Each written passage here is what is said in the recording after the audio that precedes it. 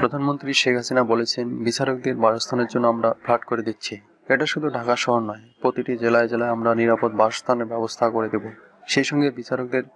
গাড়ির ব্যবস্থা নিশ্চিতের জন্য ঋণ নগদায়নের পদক্ষেপ গ্রহণ করব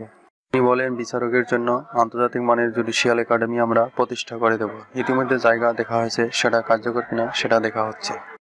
সেই সঙ্গে আমরা একটা আইন বিশ্ববিদ্যালয় প্রতিষ্ঠা করব সোমবার ছাব্বিশ ডিসেম্বর দু রাজধানীর বঙ্গবন্ধু আন্তর্জাতিক সম্মেলন কেন্দ্রে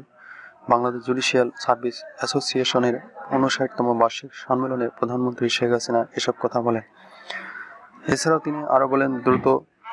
মামলা নিষ্পত্তির পাশাপাশি স্বচ্ছতা জবাবদিহিতা নিশ্চিত করার মাধ্যমে সবাই যেন ন্যায় বিচার পায় রংপুর সিটি কর্পোরেশনের নির্বাচন সুষ্ঠু করতে পর্যাপ্ত নিরাপত্তা ব্যবস্থা গ্রহণ করছে পুলিশ নির্বাচনে আইন শৃঙ্খলা রক্ষায় ছয় স্তরের নিরাপত্তা ব্যবস্থা থাকবে এছাড়া মাঠে সাদা পোশাকে বিভিন্ন গোয়েন্দা সংস্থার সদস্যরা নিয়োজিত থাকবেন বলে জানিয়েছে রংপুর মেট্রোপলিটন পুলিশ কমিশনার নুরে আলম মিয়া আগামীকাল মঙ্গলবার রংপুর সিটিতে হতে যাওয়া নির্বাচন হবে মডেল নির্বাচন এজন্য প্রশাসনের পক্ষ থেকে সব ধরনের প্রস্তুতি গ্রহণ করা হয়েছে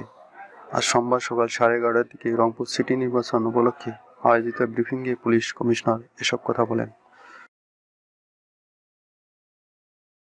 পাঁচটি সংসদীয় আসনের উপনির্বাচন আওয়ামী লীগের মনোনয়নের জন্য আগ্রহী প্রার্থীদের কাছে আগামী আঠাশ ডিসেম্বর থেকে ফর্ম বিক্রি শুরু হবে আওয়ামী লীগ সভাপতি ধানমন্ডির রাজনৈতিক কার্যালয়ে একত্রিশ ডিসেম্বর পর্যন্ত সকাল দশটা থেকে বিকাল চারটা পর্যন্ত এই মনোনয়ন ফর্ম সংগ্রহ ও জমা দেওয়া যাবে রবিবার পঁচিশ ডিসেম্বর আওয়ামী লীগের এক প্রেস বিজ্ঞপ্তিতে এই তথ্য জানানো হয় ফরম সংগ্রহের জন্য লীগের মনোনয়ন প্রত্যাশীদের যথাযথ স্বাস্থ্য সুরক্ষা বিধি মেনে এবং অতিরিক্ত লোক সমাগম ছাড়া প্রার্থী নিজে অথবা প্রার্থীর একজন যোগ্য প্রতিনিধির মাধ্যমে আবেদনপত্র সংগ্রহ জমা দিতে হবে আবেদনপত্র সংগ্রহের সময় অবশ্যই প্রার্থীর জাতীয় পরিচয়পত্রের ফটোকপি সঙ্গে আনতে হবে এবং আগামী একত্রিশ ডিসেম্বর শনিবার বিকেল পাঁচটার মধ্যে মনোনয়ন ফর্ম জমা দিতে হবে তথ্য সম্প্রচার মন্ত্রী ডক্টর হাসান মাহমুদ বলেছেন আওয়ামী লীগ শক্তিশালী দল নির্বাচনে ওয়াক ওভার চায় না আওয়ামী লীগ খেলেই জিততে চায় আর সোমবার দুপুরে সচিবালয়ে সমসাময়িক বিষয়ে এ কথা বলেন তিনি তথ্যমন্ত্রী বলেন একটি অংশগ্রহণমূলক ও প্রতিদ্বন্দ্বিতামূলক নির্বাচন হোক সেটাই চায় সরকার কিন্তু বিএনপি নির্বাচন নিয়ে যে ভীতি তা দূর করার দায়িত্ব সরকারের না বিএনপিরই নির্বাচনী ভীতি দূর করা আওয়ামী লীগের দায়িত্ব না নির্বাচনে আসা তাদের কর্তব্য বিএনপি আন্দোলন ও বিদেশি সাব বিষয়ে নতুন কমিটির চ্যালেঞ্জ প্রসঙ্গে ডক্টর হাসান মাহমুদ বলেন দু হাজার চোদ্দ দু সালে এসব চ্যালেঞ্জ মোকাবিলা করে আমলিক ক্ষমতায় আসে তিনি বলেন বিএনপির অপরাজিত মোকাবিলা করাই এখন সরকারের সামনের দিনগুলোতে বড় চ্যালেঞ্জ কিন্তু সরকার তা শক্তভাবে মোকাবিলা করতে পারবে আগামী তিরিশ ডিসেম্বর বিএনপির গণমিছিল সফল করার লক্ষ্যে প্রস্তুতি সভা করেছে ঢাকা জেলা বিএনপি নয়াপল্টন বিএনপির কার্যালয়ে উপস্থিত সভা অনুষ্ঠিত হয় সভায় বিএনপির জাতীয় স্থায়ী কমিটির সদস্য গর্ষচন্দ্র Roy vice chairman doctor A Z M Zahid Hasan ও ঢাকা জেলা বিএনপির সাধারণ সম্পাদক নিপুণ রায় উপস্থিত ছিলেন গাজীপুর টঙ্গীতে বিশ্ব ইস্তমা দু হাজার তেইশ উপলক্ষে সার্বিক নিরাপত্তা সংক্রান্ত ও সফল করার লক্ষ্যে সমন্বয় সভা অনুষ্ঠিত হয়েছে আর সোমবার দুপুরে ময়দানের উত্তর পূর্ব কোণে স্থাপিত টিনশিট মসজিদ সংলগ্ন স্থানে সভাটি অনুষ্ঠিত হয় এই সময় প্রধান অতিথির বক্তব্য দেন মুক্তিযোদ্ধা বিষয়ক মন্ত্রী আ কম মোজাম্মেল হক এমপি প্রধান অতিথি তার বক্তব্যে বলেন বিশ্ব ইস্তমাকে শতভাগ সফল করতে সব ধরনের প্রস্তুতি নেওয়া হয়েছে অনুষ্ঠানে আরও বক্তব্য দেন গাজীপুর আওয়ামী লীগের সভাপতি অ্যাডভোকেট আসমাদুল্লাহ খান সাধারণ সম্পাদক আতাউল্লাহ মণ্ডল বিশেষ অতিথির বক্তব্য দেন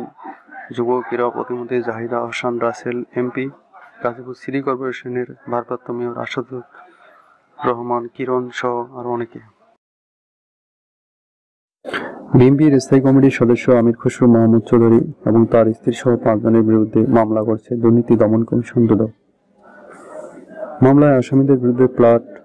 জালিয়াতি নকশা বহির্ভূতভাবে হোটেল সারিনা নির্মাণের অভিযোগ আনা হয়েছে সোমবার ছাব্বিশ ডিসেম্বর দুদকের উপপরিচালক সেলিনা আক্তার বাদী হয়ে এই মামলা দায়ের মামলার অন্য আসামিরা হলেন আমির খুশুর স্ত্রী তাহেরা খুশরু আলম আমির খুশুর ভাইরা ভাই হোটেল সারিনার চেয়ারম্যান গোলাম সারোয়ার তার স্ত্রী হোটেল সারিনার ব্যবস্থাপনা পরিচালক সাবেরা সারোয়ার নিনা ও রাজধানী উন্নয়ন কর্তৃপক্ষের রাজুক নকশা অনুমোদন শাখার বিল্ডিং ইন্সপেক্টর আওরঙ্গজেব নান্নু দুদক সচিব মাহবুব হোসেন এক প্রেস ব্রিফিংয়ে এই তথ্য নিশ্চিত করেছেন ভারতের কেন্দ্রীয় অর্থমন্ত্রী নির্মলা সীতারমনকে হাসপাতালে ভর্তি করা হয়েছে সোমবার স্থানীয় দুপুর বারোটার দিকে তাকে ভর্তি করানো হয় তেষট্টি বছর বয়স নির্মলাকে হাসপাতালে একটি ক্যাবিনে রাখা হয়েছে হাসপাতালের সূত্র থেকে জানা গেছে নির্মলার শারীরিক অবস্থা নিয়ে আশঙ্কার কিছু নেই তিনি এখন স্থিতিশীল তার চিকিৎসা চলছে রাশিয়ার দক্ষিণ অঞ্চলের অ্যাঙ্গেলস বিমান ঘাঁটিতে ইউক্রেনের ড্রোন হামলায় তিনজন নিহত হয়েছে বলে জানিয়েছে মস্কো সোমবার এই হামলার ঘটনা ঘটে এই ঘাঁটিটি ইউক্রেন সীমান্ত থেকে প্রায় পাঁচশো কিলোমিটার উত্তর পূর্বে অবস্থিত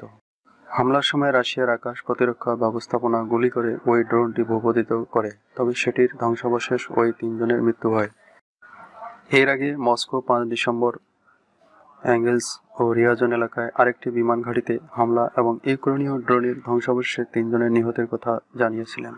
সে সময় দুটি বিমান সামান্য ক্ষতিগ্রস্ত হয়েছে বলেও স্বীকার করে নিয়েছিলেন তবে কোনো হামলা প্রসঙ্গে ইউক্রেনের সামরিক বাহিনী আনুষ্ঠানিকভাবে কোনো মন্তব্য করেননি কয়েক সপ্তাহ পানিতে ভেসে ক্ষুধার্থে এবং শারীরিকভাবে দুর্বল অবস্থায় ইন্দোনেশিয়ার একটি বন্দরে পৌঁছেন আটান্ন জন রোহিঙ্গা স্থানীয় পুলিশ জানিয়েছে নষ্ট ইঞ্জিনের একটি কাঠের নৌকায় চেপে এসব রোহিঙ্গা শরণার্থী এ পর্যন্ত এসেছেন খুবই দুর্বল অসহায় অনেকেই ইতিমধ্যে হাসপাতালে ভর্তি করা হয়েছে তাদের খাবারের ব্যবস্থা করছেন স্থানীয়রা রোববার আটান্ন জনের একটি রোহিঙ্গা দল দেশটি ইন্দ্রপত্র বন্দরে পৌঁছায় তাদের মধ্যে সবাই পুরুষ দুদিন আগেই জাতিসংঘের শরণার্থী সংস্থা ইউএনএইচসিআর সমুদ্রে দুই সপ্তাহ ধরে ভেসে থাকা একশো পঞ্চাশ জন রোহিঙ্গা মাছ ধরা নৌকাকে সহায়তা করতে আন্দামান সাগরের পাশে দক্ষিণ পূর্ব এশিয়ার দেশগুলোর প্রতি আহ্বান জানিয়েছিল একটি স্যাটেলাইট ফোনের মাধ্যমে নৌকাটির আরোহীরা জানিয়েছিলেন শিশুসহ অনেকেই মারা গেছে এবং তাদের খাদ্য পানি ফুরিয়ে আসছে নিখোঁজ ওই নৌকাটি শেষ পর্যন্ত ডুবে গেছে বলে জাতিসংঘের সংস্থাটি আশঙ্কাও প্রকাশ করছে